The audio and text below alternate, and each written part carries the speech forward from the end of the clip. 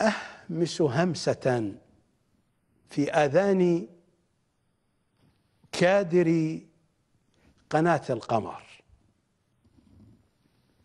وحين أتحدث عن كادر قناة القمر إنني لا أتحدث عن أخوتي وأبنائي الذين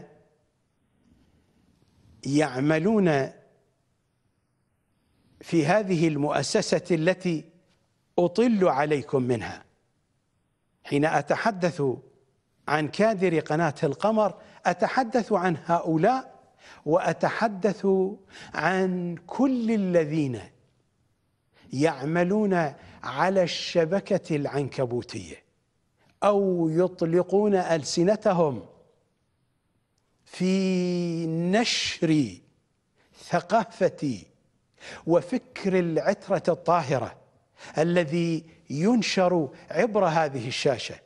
كثيرون هم كادر قناة القمر. ولا أعرف أكثرهم بشكل شخصي. أرتبط قلبيا بهم. أقول لهؤلاء جميعا صدقوني. صدقوني هذه عقيدتي. هذا البرنامج أعظم خدمة حسينية في جو الإعلام والتعليم في جو التبليغ وإحياء أمر الحسين أعظم خدمة حسينية منذ سنة 329 للهجرة منذ بداية الغيبة الكبرى وإلى هذه اللحظة. لا تفوتكم هذه الخدمة.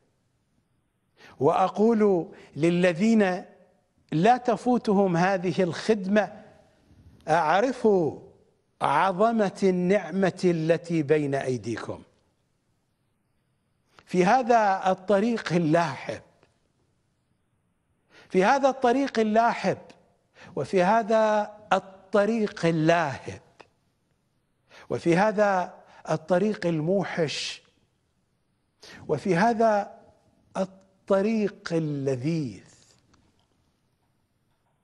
في طريق خدمة الحجة بن الحسن. في طريق خدمة الحسين بحسب موازين العترة الطاهرة. لا بحسب موازين هؤلاء السفعاء الذين نصبتهم الشيعة عجولا بشرية يتوجهون إليها بالعبادة. لا شأن لي بهم ولا بسفهائهم ولا بسفاهتهم. أتحدث عن خدمة الحسين التي هي خدمة الحجة بن الحسن. أقول لكم يا كادر قناة القمر في شرق الأرض كنتم أم في غربها.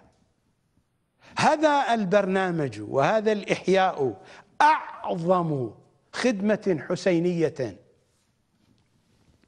فاعرفوا عظمة هذه النعمة. فإنني كما قلت لكم قبل قليل في هذا الطريق اللاحب لقد رأيت الكثيرين والكثيرين والكثيرين يتساقطون الواحد تلو الآخر.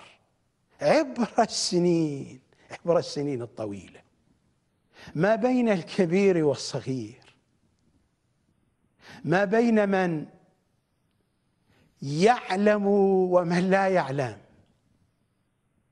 ما بين من تأكدت عليه الحجج ومن لم تتأكد عليه الحجج رأيت الكثيرين يتساقطون والعلة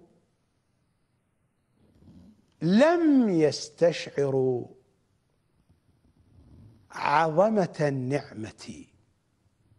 عظمة نعمة الكون في خدمة إمام زمانهم. لم يستشعروا هذا المعنى. ولم يؤدوا حق هذه النعمة. فتساقطوا وتهاووا. رأيت الكثيرين فحذاري حذاري. وأعرفوا عظمة النعمة التي بين أيديكم. أقول هذا للذين أعرفهم وللذين لا أعرفهم في شرق الأرض وغربها ممن يسجلون أنفسهم في كادر قناة القمر وهم ينشرون الفكر الذي ينشر عبر هذه الشاشة. إنه فكر وعقيدة محمد وآل محمد صلوات الله وسلامه عليهم أجمعين. وأقول لكل الذين يتابعون هذه الحلقات